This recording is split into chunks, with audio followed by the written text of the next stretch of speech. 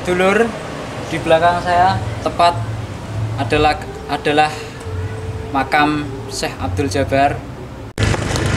Dulur, assalamualaikum salam salam rayu. Assalamualaikum, Om Swastiastu. Dengan saya Satrio Imam Panjalu di channel Cerita Rakyat ID.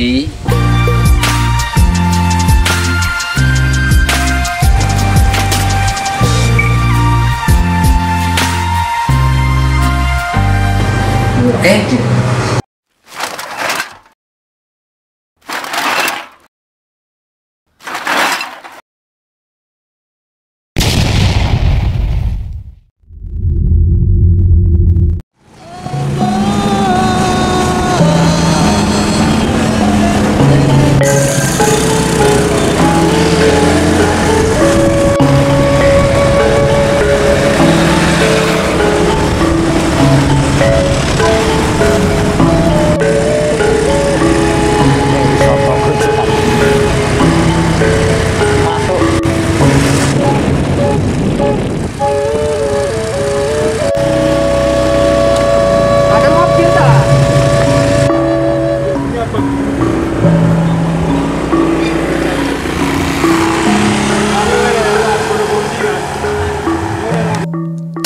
Sultan Hadiwijoyo Joko Tingkir yang anti penjajah Belanda.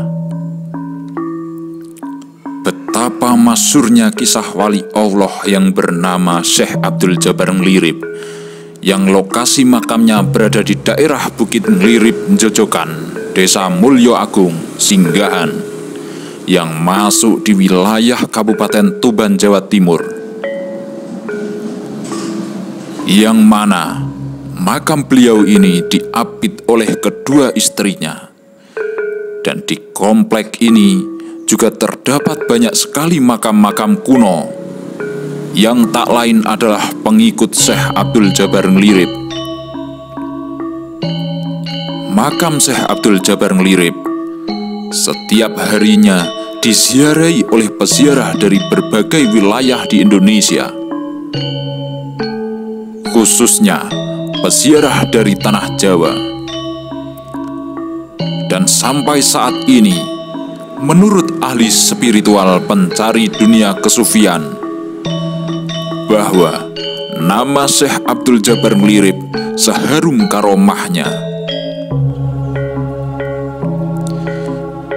Yang perlu kita pelajari bahwa terdapat beberapa versi yang menyebutkan tentang siapakah sebenarnya beliau ini.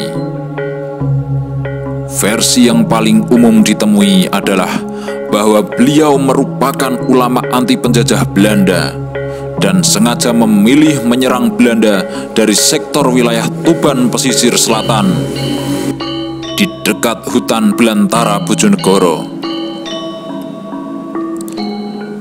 Selain itu, Konon katanya bahwa Syekh Abdul Jabar Melirip pernah memiliki guru yang sangat masyur, yang mana salah satunya bernama Mbah Ganyong, yang makamnya berada di komplek Lirip di sebelah bawah di dekat air terjun Lirip. Selain Mbah Ganyong, Guru keduanya bernama Syekh Sanusi atau yang terkenal dengan sebutan Mbah Bandreng yang makamnya berada tidak jauh dari makam Syekh Abdul Jabar Ngelirip dan berada di tengah hutan belantara.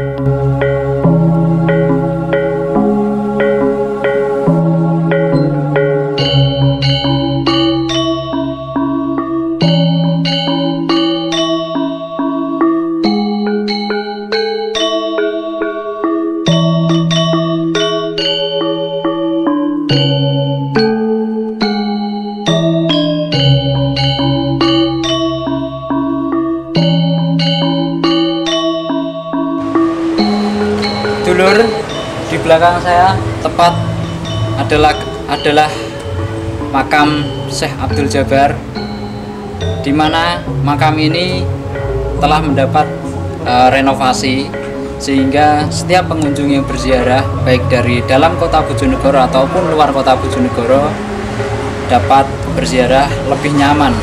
Karena di area sini sudah ada area parkir tempat beribadah atau musola tempat menginap. Ini pendopo untuk menginap.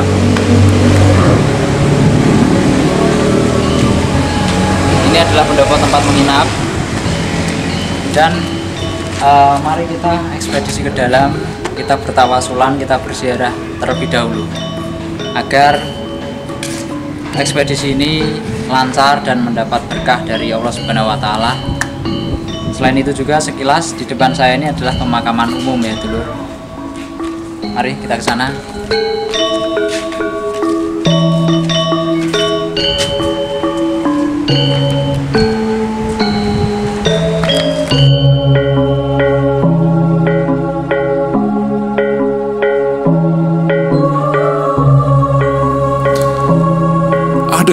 Menyebutkan bahwa Syekh Abdul Jabbar Ngelirip juga memiliki nama keraton, yaitu Pangeran Sumoyudo. Dan konon katanya bahwa Pangeran Sumoyudo merupakan cucu dari Pangeran Benowo II, sang penguasa Jipang Panolan.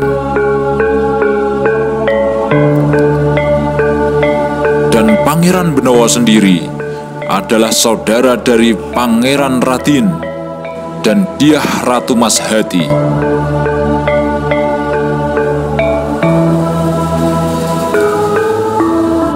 Konon katanya, Syekh Abdul Jabar Ngelirip adalah anak dari Pangeran Selarong. Dan konon katanya juga bahwa Syekh Abdul Jabar Ngelirip memiliki anak yang bernama Kiai Abdullah yang lahir di Lasem dan Kiai Abdullah Lasem pun melahirkan anak yang bernama Kiai Onggo Yudo Sidayu.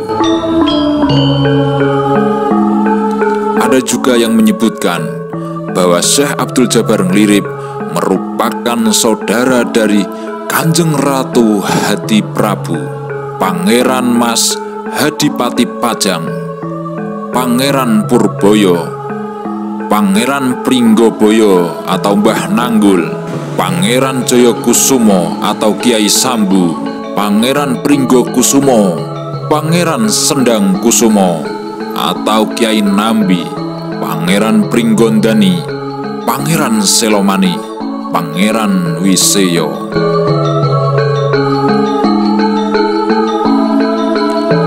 Selain itu, Syekh Abdul Jabar Ngelirip merupakan menantu Kiai Sabil dari Bojonegoro melalui anak Kiai Sabil yang bernama Nyai Moyo Kerti.